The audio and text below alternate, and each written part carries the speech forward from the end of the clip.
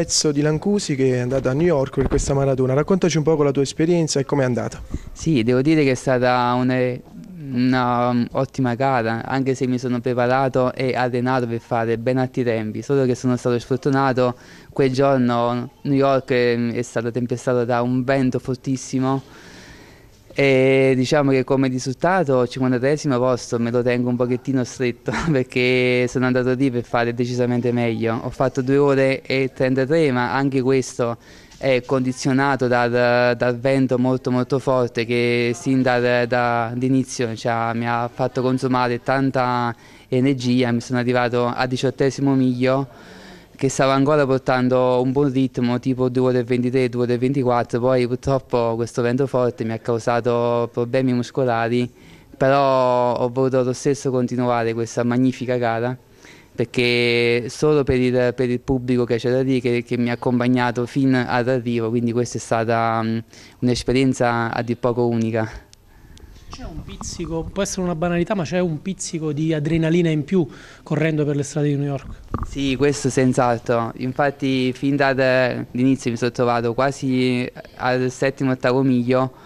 che sembrava che, che non, avevo, non, non, avevo, fatto niente perché ci sta un grande pubblico che ti, ti canta dietro, ti, quindi tu non senti i tuoi passi, non senti la tua stanchezza, senti solo questo magnifico pubblico che ti, che ti incita, quindi ti ci accompagna, l'adrenalina questo sale, anche, anche in partenza, vedere 60.000 partecipanti stare lì su quel, su quel ponte, mi sono girato dietro, ho visto una marea umana ho detto oddio dove, dove mi trovo. Dopo New York quali appuntamenti sportivi nella, nella tua stagione? Ma penso di, di fare maratona di, di, Roma che si terrà a marzo, anche se nel frattempo farò una mezza maratona a gennaio a Verona come, come test.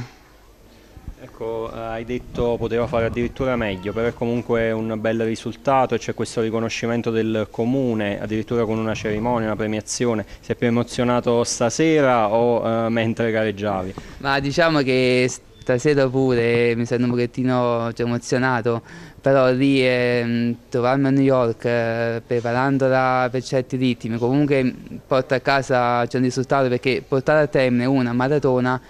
è già un, uh, un risultato perché io ho sempre detto che faccio atletica da tantissimi anni ma una maratona fa sempre atletica ma secondo me è tutto un altro sport perché lì eh, subentrano an anche altri, altri, fattori sia um, per, per, prepararla, per l'alimentazione, per il tempo che uno ci dedica, un po', un po' tutto. Quindi comunque porto a casa un risultato, anche se poteva andare meglio, però me lo, me lo tengo lo stesso perché è stata comunque un'esperienza unica. Direi qualcosa ai tuoi concittadini, a questa comunità che, si, che, ti, ha, che ti, sta, continuando a, sta continuando a sostenerti e che insomma ti ha quasi spinto verso questo risultato. Ah, questo certo, questo mi ha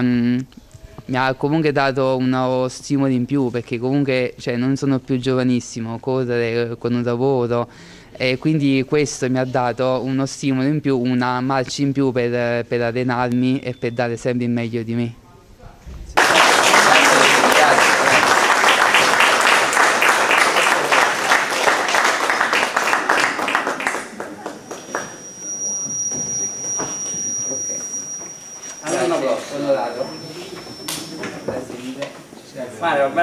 Possa essere un esempio anche per tantissimi altri giovani appassionati di sport.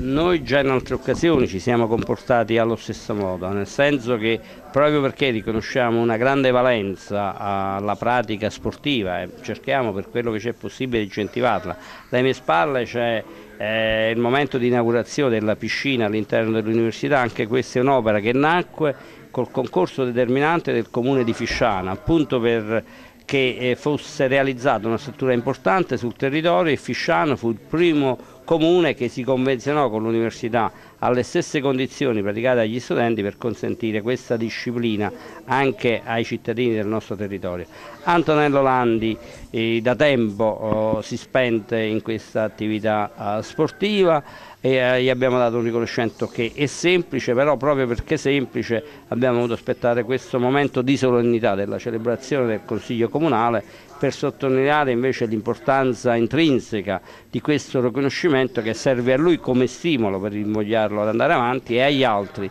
come esempio per cercare di imitarlo perché abbiamo questa consapevolezza che se si pratica della buona attività sportiva eh, non solo eh, ricordando un vecchio brocardo latino si sta bene nel corpo ma questo aiuta anche ad affrontare la quotidianità, i problemi giornalieri che anche i giovani, i nostri concittadini si trovano ad affrontare molte volte in modo drammatico in questo particolare momento ed aiuta anche a superare le difficoltà che stanno sempre dietro l'angolo.